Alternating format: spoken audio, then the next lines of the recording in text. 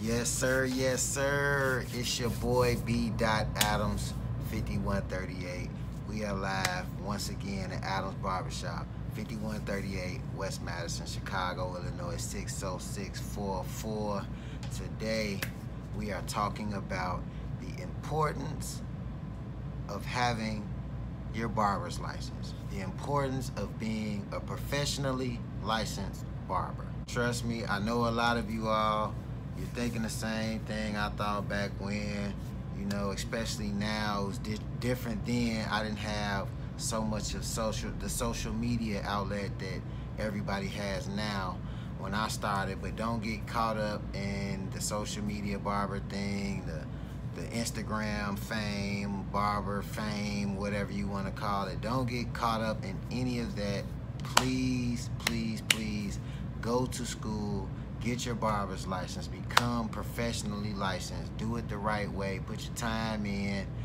It's very imperative to your barber career that you do this. I have people all the time that ask me, uh, could I teach them how to cut? Could I show them how to do this? Could they watch me? And all type of things. And I always tell them, I say, yeah, I could do all of that, but you should just go to school.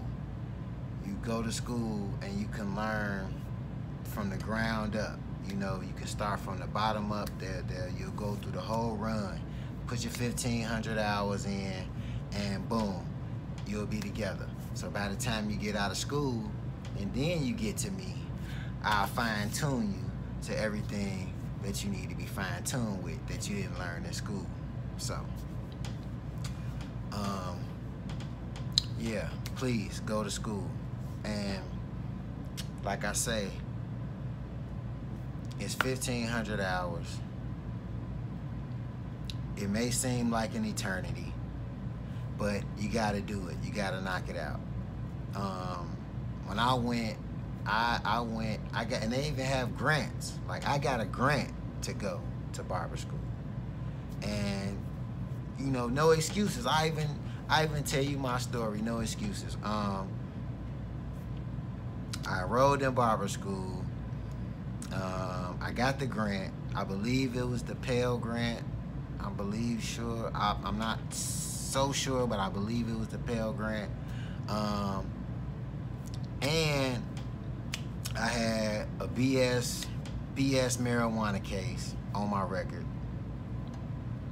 May have been a couple of them. I'm not too sure, but um,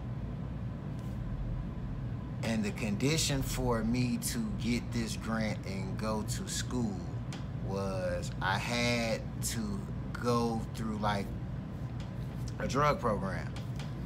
And I'm sitting here like, you know, I ain't no drug addict, you know what I'm saying? I ain't, you know. So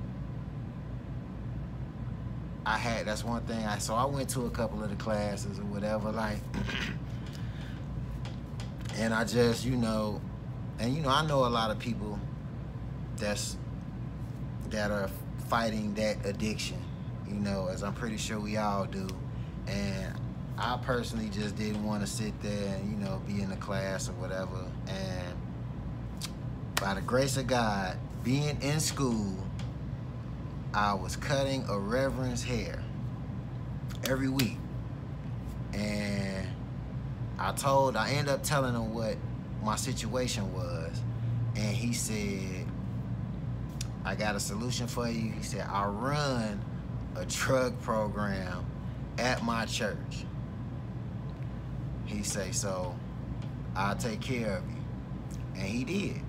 And I didn't see him after I got out of barber school. So if you out there and you watching, somehow, by some way, you can see this. Thank you. I definitely appreciate you. You are definitely one of the reasons why I was able to get out of school and complete my barber journey. And I appreciate you. I thank you because that was a great help to me because it was, you know, mentally it was, you know, I, it was, it was tough. You know, young kid.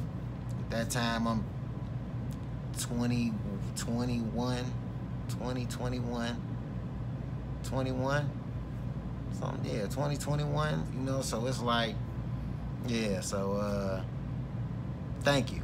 Thank you. But uh yep. So it's like I say, no excuses. No excuses. I did what I had to do. I got out of barber school. I studied for the test. you gotta study for the exam. You gotta, I mean, these are just things like no success happens overnight. It's no bam and it happens. Nothing, nothing you want to do in life just happens bam, just like that. You have to put the time and the work in to be able to have the freedom to be the type of barber that you want to be. So go to school. Go to school if this is the career path that you want to do, if this is really what you want to do, do it. And you trust me, you do not have to know how to cut hair to become a great, awesome barber. It was in my family gene. I'm a fourth generation barber. So I came up in the barber shop. I kind of had no choice. I had a choice, but I didn't have a choice, if you understand what I'm saying. So, but luckily, I loved it. I actually taught myself how to cut. When I first cut hair, I was um, about 12, 13 years old. I picked it up on my own and just started doing it. But I was looking at my grandfather, my father, my uncle. I was looking at them do it the whole time and I picked it up on my own and just made my own way with it to become good at it. And that was like, that let my father and them know that I really wanted to do it because I did it on my own. Like I was, I, I taught myself how to do it. So I really did. I was genuinely interested in doing it. So no, you do not have to already know how to cut hair to get into the, to want to know how to cut hair. You do not have to already know how to cut hair to want to know how to cut hair go to school. All you have to have is the interest, the want to know how to do it. And you will become the greatest barber. You will become better than barbers who are talented because you want to have, you have to drive the passion for it. So yeah, go to school. Go to school, look into your local your local area where all of your barber schools are. Google it. Google is your best friend look it up, find out where you can get in, find out about the grants. They have grants for you to go to barber school. Grants, non-repayable money, grants for you to have your barber's license. You, yes, you need it. So, do that, do that. If you want to become a professional barber, I urge you to get your barber's license. And it works out for you because after you graduate barber school, then you can maximize your career to whatever fullest potential that you may have, want to display anything, anywhere, at any time. You can work in any shop because you have a barber's license. Um, you can you can do your thing. You can freely do your thing. If you want to be a celebrity personal barber, I mean, you can, you know, you can do it. But it starts with going to school. It starts with putting the time in. It starts with really taking your craft seriously and getting your barber's license. That's where it starts. Um, now, you can also, while you're in school, that favorite barber that you like so much that you ask the same question that I've been luckily enough, luckily enough, blah, we'll just say something. Blessed. I've been blessed enough to be asked that question. Um, you could come stand next to me, you know, ask me tips, you know, and, and we could go back and forth or at what point you are in school and I, you know, we could go from there. So, I mean, it's no problem. I have no problem showing anybody anything. If you want to see the blending, I'm a major fan of blending. I love to blend hair uh, the designs, the graphics. I love all of that type of thing. Um, I'm just infatuated with the art side of hair.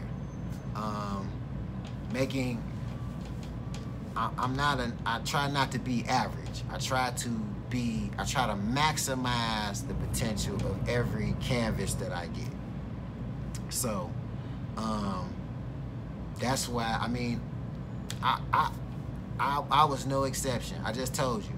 Self-taught, I was cutting hair since, started at 12 years old. I was cutting hair all through high school, cutting my friends' hair, cutting my hair, doing everything, the whole basement barber thing, the whole shebang. I still had to go to school. I had to go to school so I can be in the pros, so I can have that paperwork.